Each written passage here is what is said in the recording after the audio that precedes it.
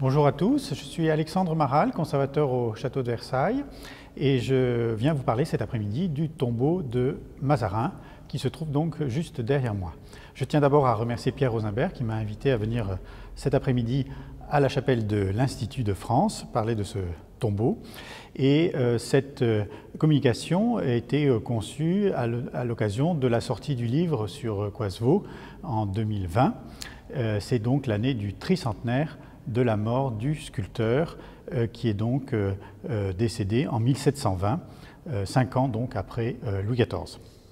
Avec François Girardon et Pierre Puget, on a là l'un des trois plus grands sculpteurs du règne, et le tombeau donc, qui est derrière moi n'est pas la moindre de ses œuvres. Alors avant de commencer et d'entrer dans le vif du sujet, euh, je voudrais présenter rapidement ce, sculpteur.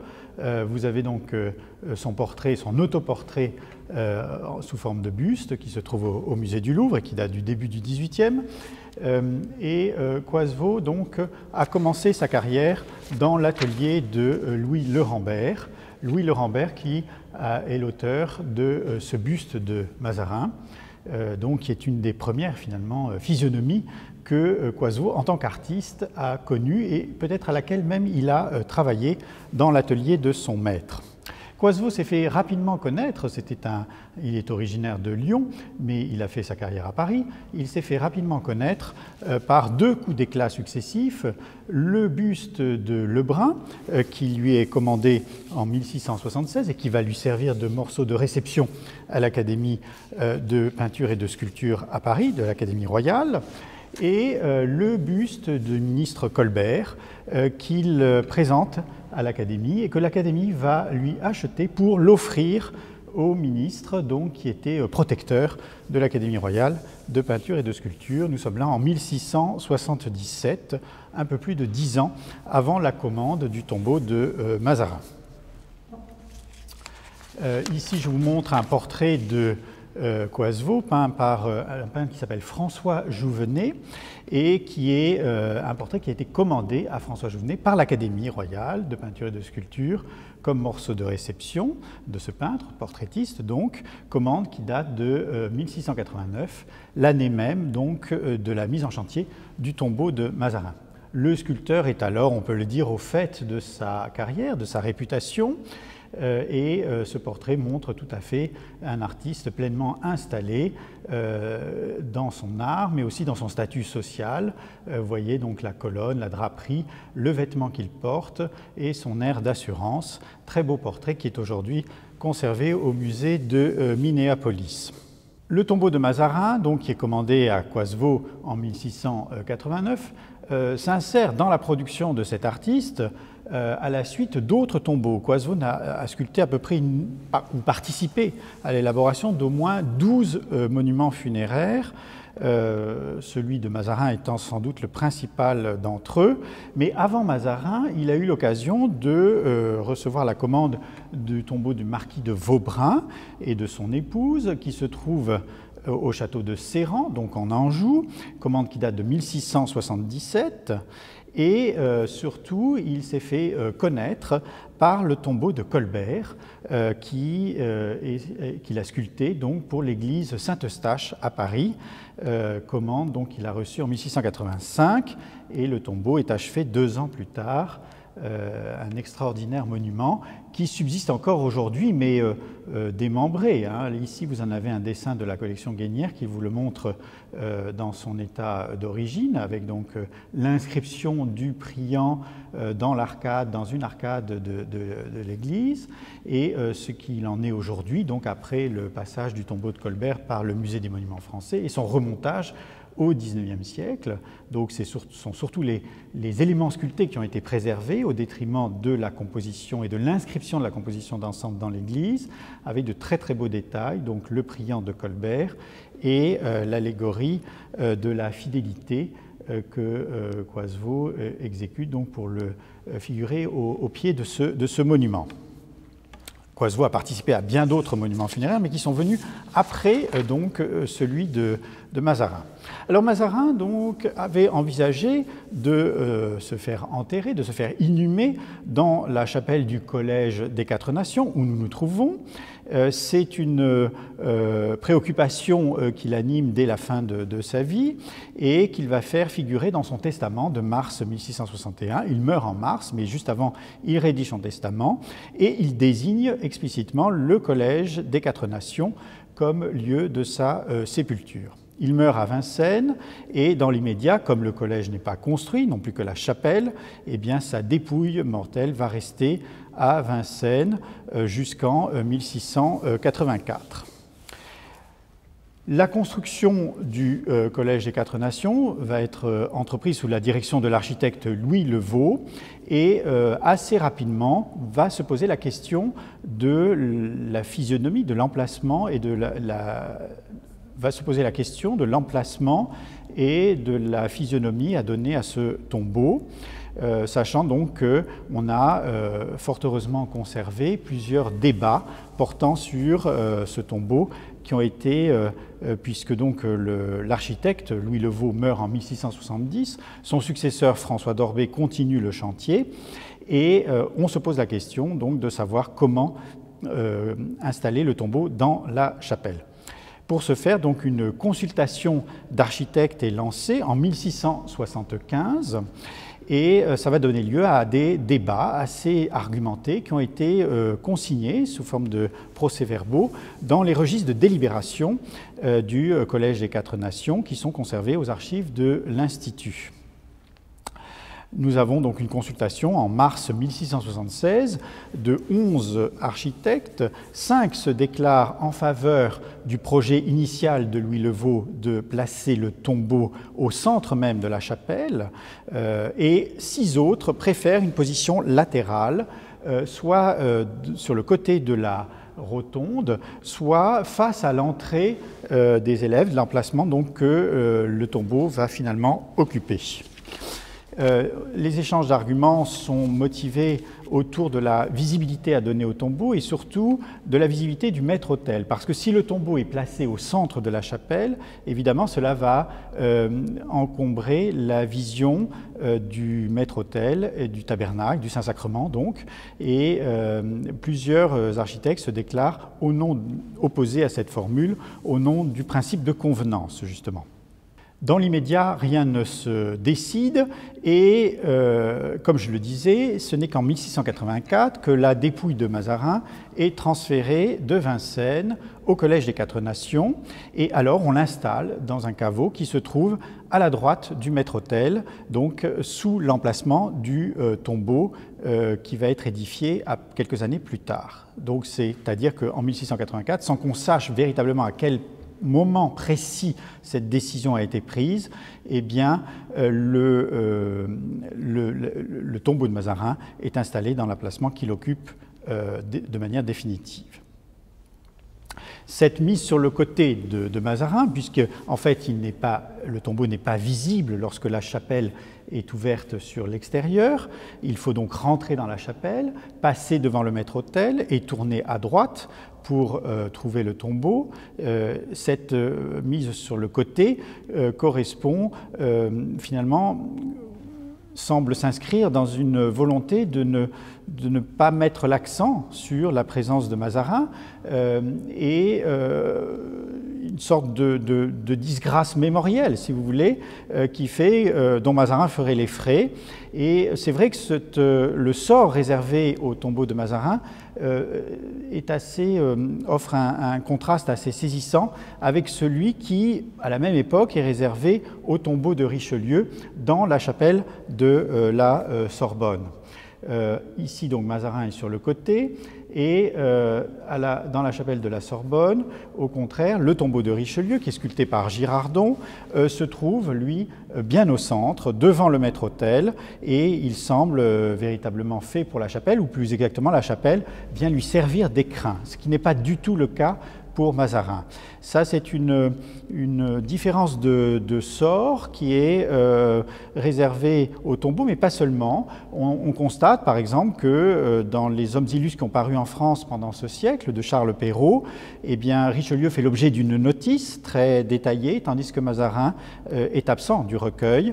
C'est un, un, ouvrage qui est paru en deux volumes, entre, alors, en 1696 pour le premier, et en 1700 pour le second, et qui recense en gros les célébrités euh, de euh, la France du grand siècle.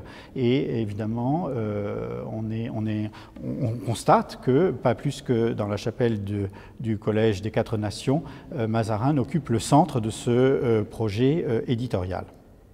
Alors le tombeau, la dépouille mortelle de, de, Mazarin est inhumée en 1684 à la droite du maître-autel dans la chapelle du Collège des Quatre Nations, et c'est en avril 1689 euh, que est rédigé le devis concernant le tombeau euh, par euh, Coisevaux et deux autres sculpteurs qui lui sont associés, Étienne Le Hongre et Jean-Baptiste Tuby. Sur la base de ce devis, le marché est signé à trois dates successives, le 7 avril, le 27 mai, le 11 juin 1689. Pourquoi? Parce qu'il s'agit d'un marché qui est signé entre les trois sculpteurs et les quatre commanditaires. Les quatre commanditaires sont les quatre exécuteurs testamentaires de Mazarin, à savoir Louvois, le surintendant des bâtiments du roi, Seignelay, le fils de Colbert, qui est secrétaire d'État de la Marine, Claude Le Pelletier, qui est contrôleur général des finances, et le marquis de Basseville, qui est avocat général au Parlement de Paris. Donc, euh, il est probable que le notaire se soit déplacé dans plusieurs domiciles distincts de ces commanditaires pour faire signer le marché, donc qui a été signé à trois dates successives, la troisième étant juin 1689.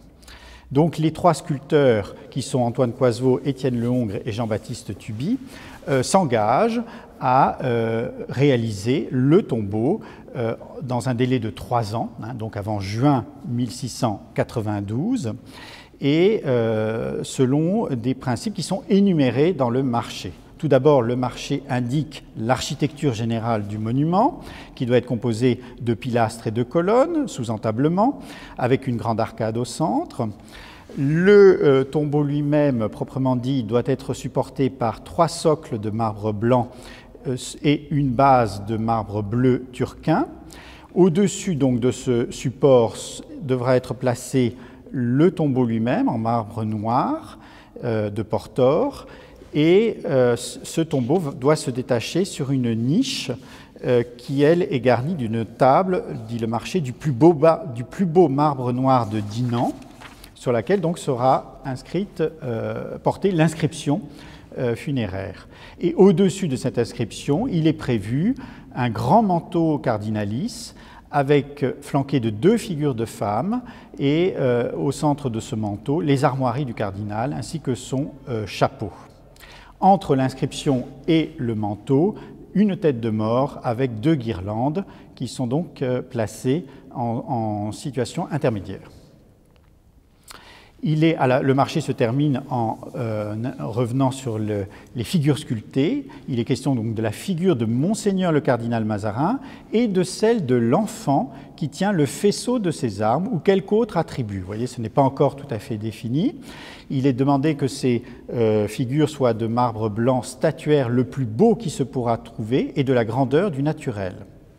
Au-dessous, trois figures de femmes en bronze euh, qui, seront composées d'un métal le plus pur possible. Le marché se conclut avec la mention du sieur Jules Ardouin-Mansart, donc, euh, qui est premier architecte du roi et qui est euh, chargé donc d'assurer la maîtrise d'œuvre de ce monument.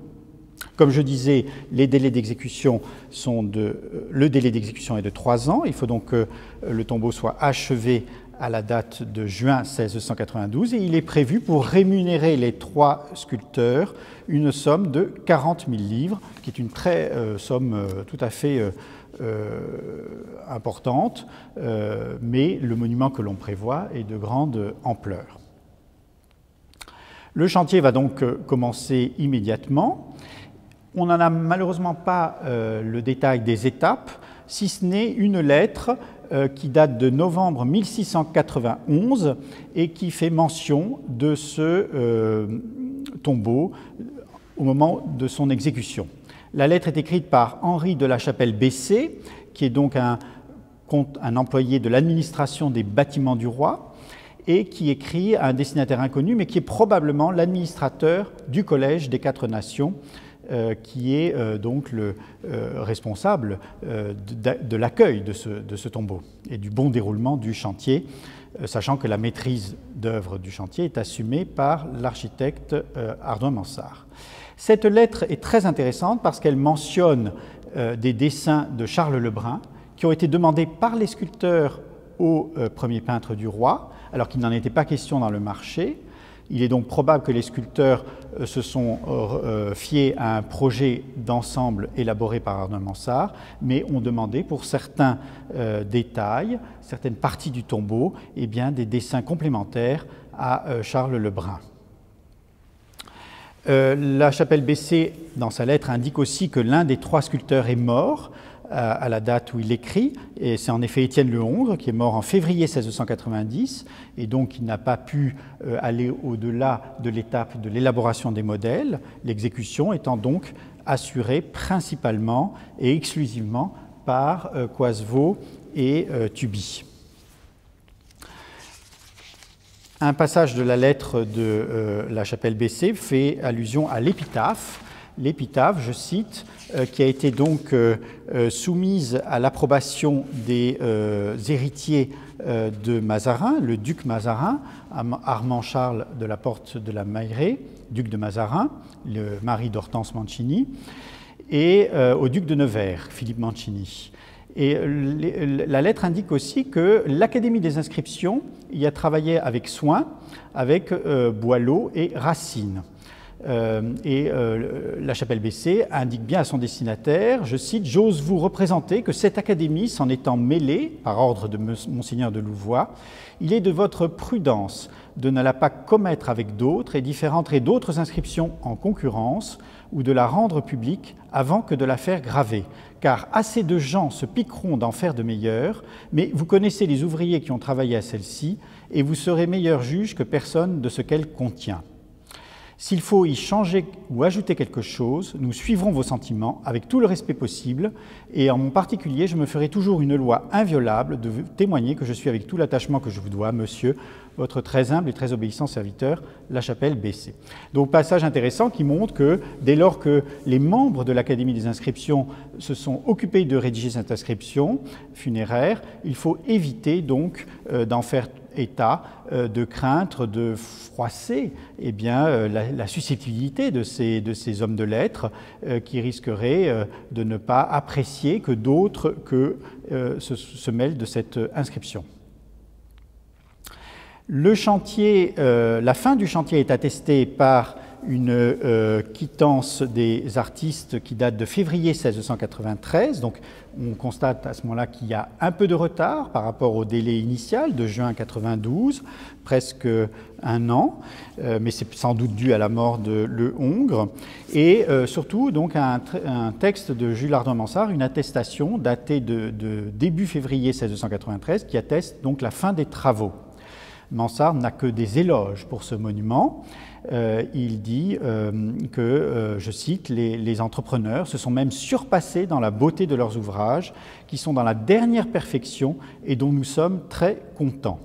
Fin de citation.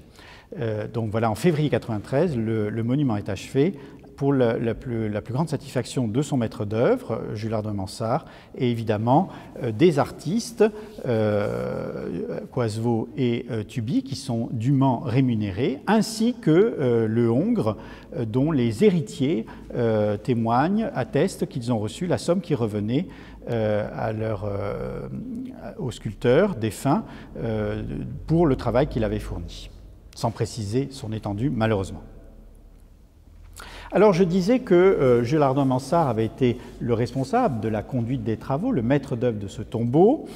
Jules Ardouin Mansart euh, avait donc euh, eu l'occasion déjà de concevoir plusieurs tombeaux, dont celui de Charles, duc de Créqui, grand diplomate et gouverneur de Paris, qui avait été exécuté par le sculpteur Maslin en 1688 pour, dans l'église des Capucines de la place Vendôme à Paris. Et donc vous avez la représentation gravée à l'écran. Le tombeau n'existe plus, il en a quelques fragments aujourd'hui dans l'église Saint-Roch. Le schéma du tombeau de Mazarin est similaire à celui euh, du duc de Créqui, avec donc trois euh, espaces, trois zones. Euh, là, le défunt étant représenté au naturel et à grandeur réelle dans la zone intermédiaire. Ici, avec Créqui, il est allongé. pour Mazarin, il est en situation de priant. Dans la zone inférieure, ce sont les, allégories, les vertus du défunt qui sont représentées. Et dans la partie supérieure, l'inscription, donc euh, ce qui est donné à lire, l'explication, l'explicitation du tombeau, euh, la partie la plus ouvertement euh, mémorielle. Limiter le tombeau de Mazarin à l'influence de Jules Mansart serait donc erroné, puisque, d'autant qu'on le sait, par la lettre de la chapelle Bessée, Charles Lebrun a été amené à émettre donc des modèles euh, probablement dessinés pour les, euh, à la demande des sculpteurs.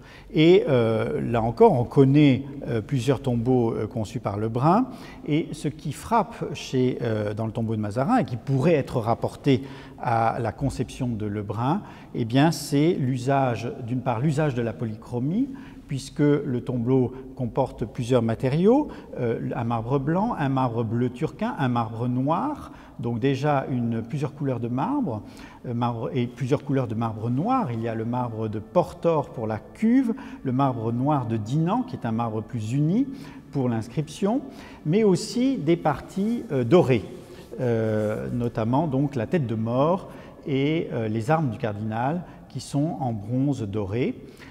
Il y a aussi du métal non doré qui, pour réserver pour les vertus de la partie inférieure et enfin, le matériau des colonnes, marbre de Rance, donc euh, ce marbre rouge sombre euh, qui vient donc euh, renforcer cette polychromie. Ça, c'est vraiment un tombeau de peintre, si vous voulez. Et le tombeau de Mazarin se lit aussi, il est plaqué contre une muraille, il n'est pas fait pour que l'on tourne autour, que l'on le contemple sous divers aspects. Et là encore, c'est une différence très euh, frappante avec le tombeau de euh, Colbert ou bien le tombeau de euh, Richelieu à la Sorbonne, qui sont deux grandes machines faites pour que l'on tourne autour d'elles, qu'on les contemple sous divers aspects, dont la signification d'ailleurs peut revêtir différentes dont la signification peut varier selon l'angle d'observation. Euh, alors que le tombeau de Mazarin est, fait pour être vu comme un tableau, de manière frontale, avec un point de vue non pas privilégié, mais unique. Et euh, de ce point de vue-là, de ce point de vue frontal, on peut embrasser l'ensemble de la composition euh, qui, est, qui se donne à lire, dominée par l'inscription. On a donc un très beau dessin de, du, euh, début de la fin du XVIIe siècle ou du début du XVIIIe, il n'est pas daté, mais il, est, il est, été euh, dessiné, euh, il a été exécuté probablement peu de temps après la fin du, tombeau, dessin qui est conservé en Suède, à Stockholm, et qui montre le tombeau donc dans son état d'achèvement. On voit donc cette, ce triple répartition des motifs, les vertus dans la partie basse, le priant en zone intermédiaire, et toute la partie supérieure, l'inscription et les armes euh, qui viennent donc euh, euh, compléter le, dispositif. Alors, comment répartir, comment déterminer ce que Coisevaux a sculpté, ce que Le Hongre a. Alors, comment répartir les différentes contributions des sculpteurs concernés, Le Hongre, Coisevaux et Tubi le Hongre étant décédé prématurément, il est probable que son rôle se soit limité à l'élaboration, à la participation à l'élaboration des modèles. En revanche, Quasvo et Tubi sont présents euh, tout, au long du chantier et euh, sont nommés par euh, les différentes quittances qui en marquent l'achèvement.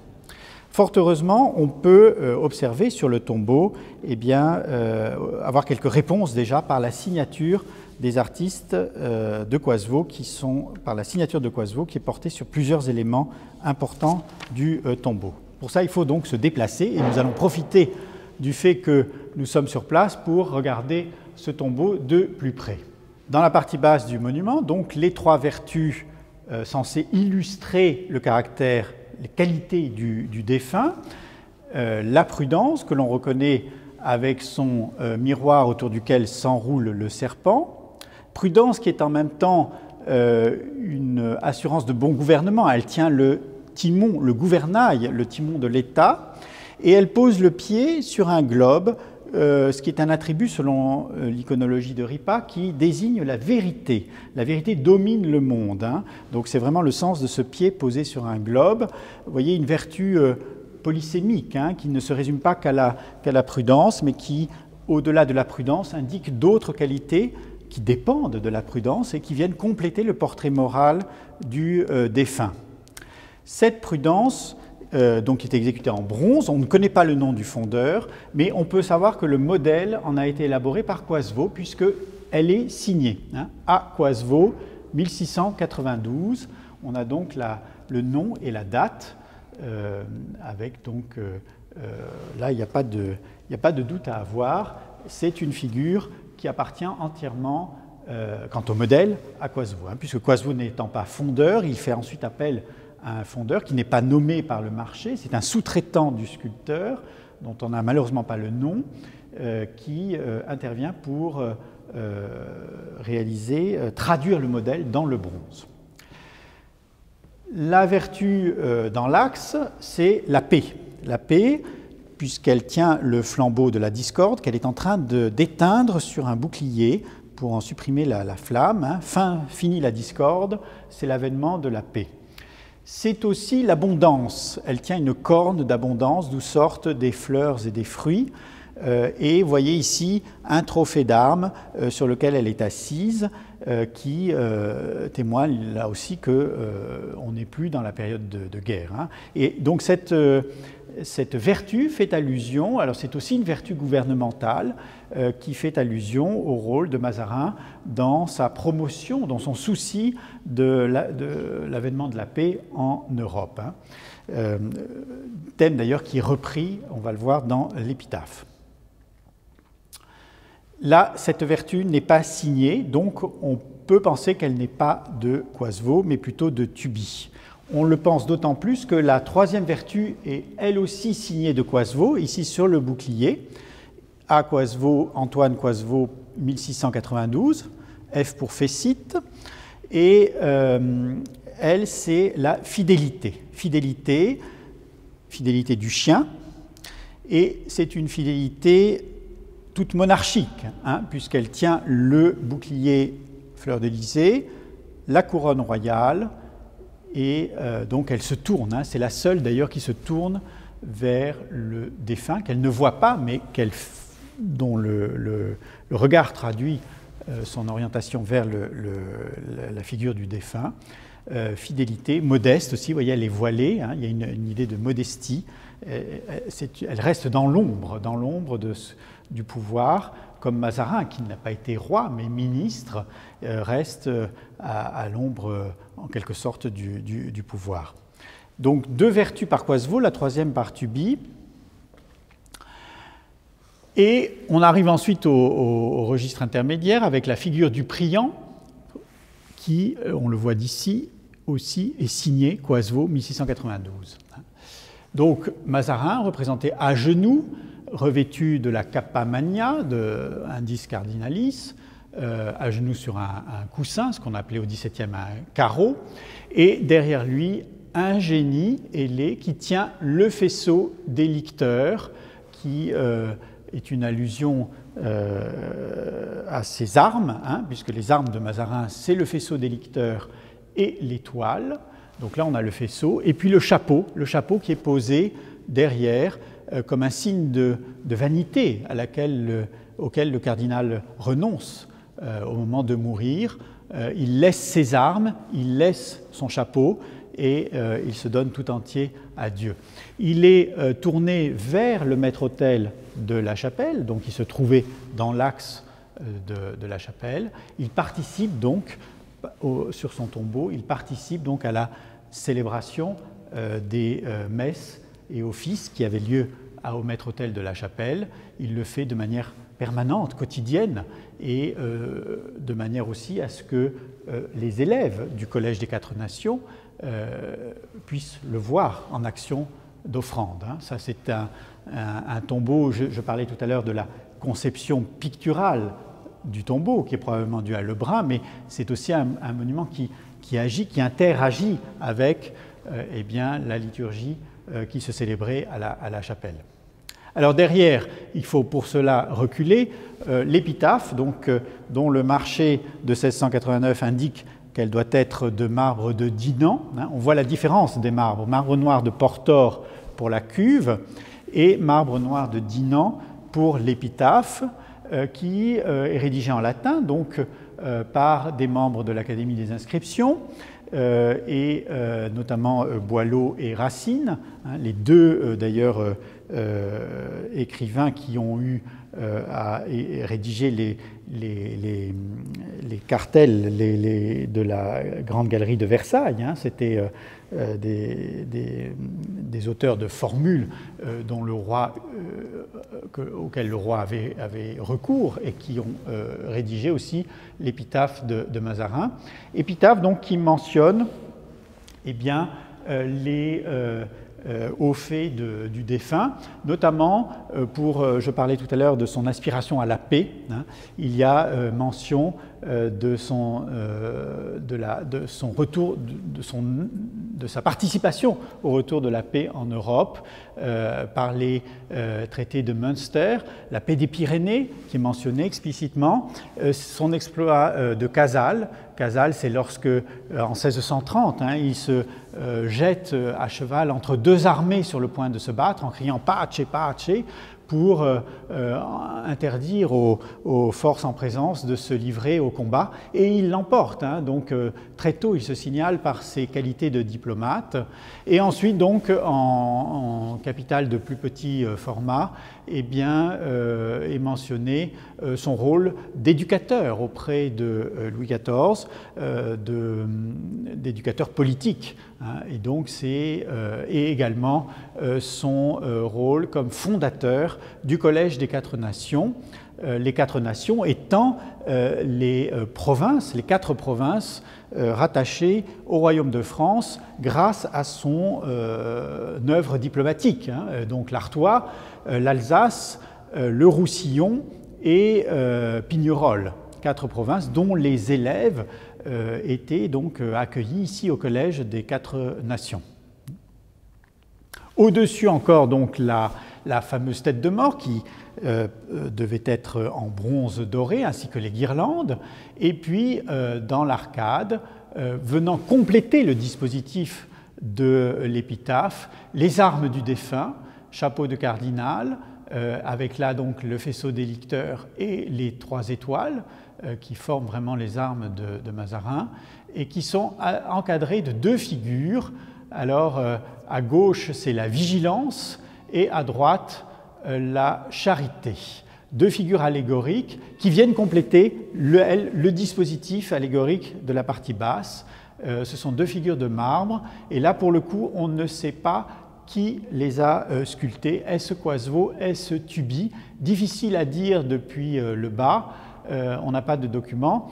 Euh, on serait tenté de les attribuer à Tubi, euh, puisque il faut voir que Coiseau a déjà sculpté pas mal de parties, le priant, l'enfant, les deux vertus latérales de la partie basse, à supposer que les sculpteurs se soient répartis de manière équitable les parties sculptées, eh bien, on, serait tenté d'attribuer l'ensemble de la partie haute à Tubi. Néanmoins, euh, la, charité, ce que, l'on peut en voir euh, d'ici, euh, par le visage, par la répartition des mèches de cheveux, fait penser au, à l'art de Coisevaux. Donc il n'est pas impossible que la charité de droite ait été de Coisevaux. En tout cas, moi, je, propose cette attribution. tandis qu'à gauche, c'est très nettement Eutubi. On a des visages très comparables à celui de, la paix, un visage très comparable à celui de la paix, et aussi,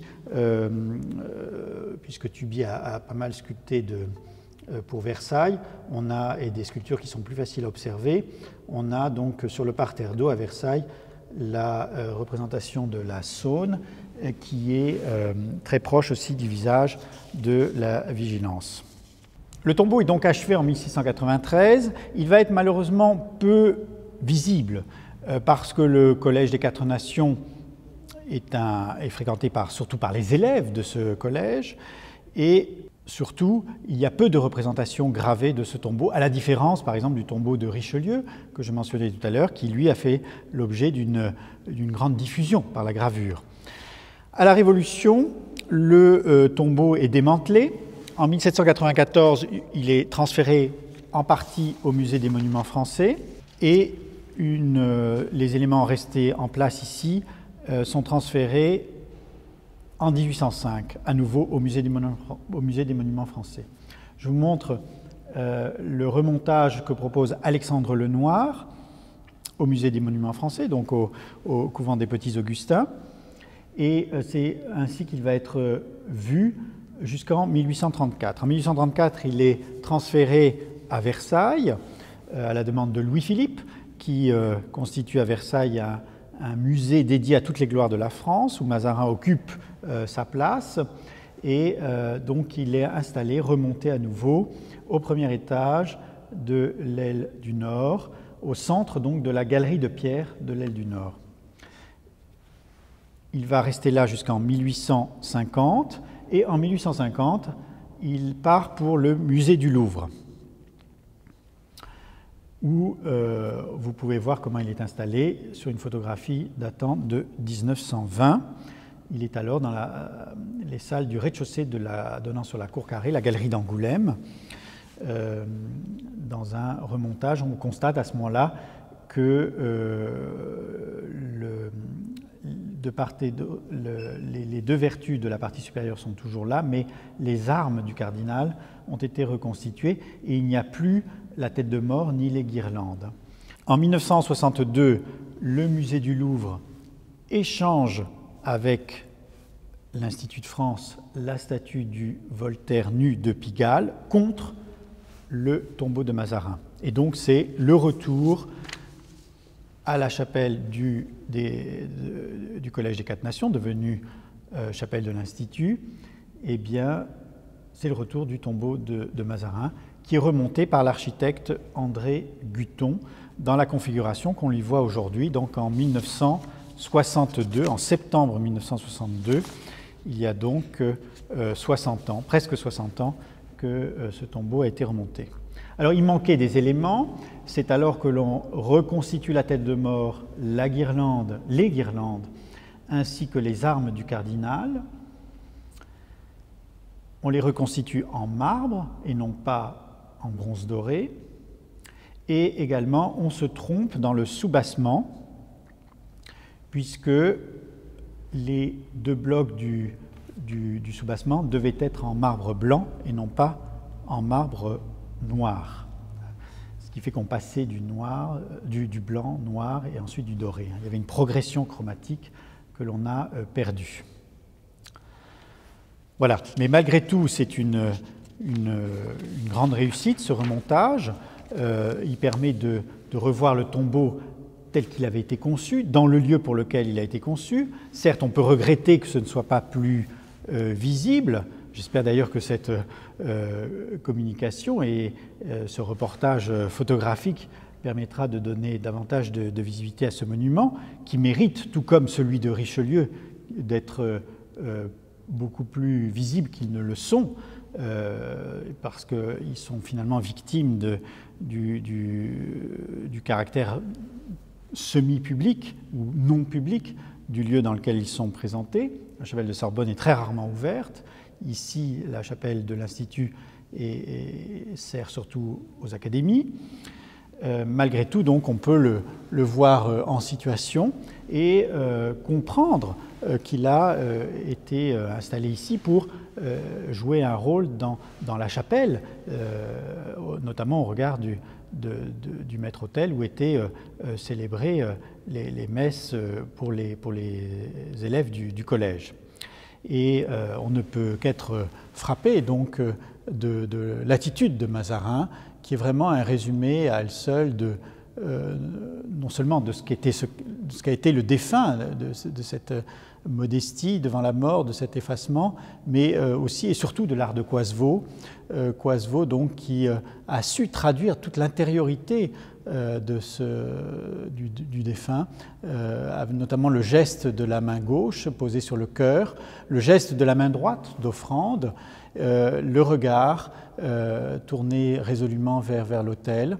On ne peut qu'être frappé par ce, ce génie de Coisevaux à traduire l'intériorité du, défunt, une sculpture d'où est exemple tout, tout, pathos au profit de, l'intériorité. Et euh, pour reprendre une formule euh, que, le compositeur Couperin euh, appliquait à, sa conception de la musique, on peut dire que Coisevaux préfère ici toucher que surprendre.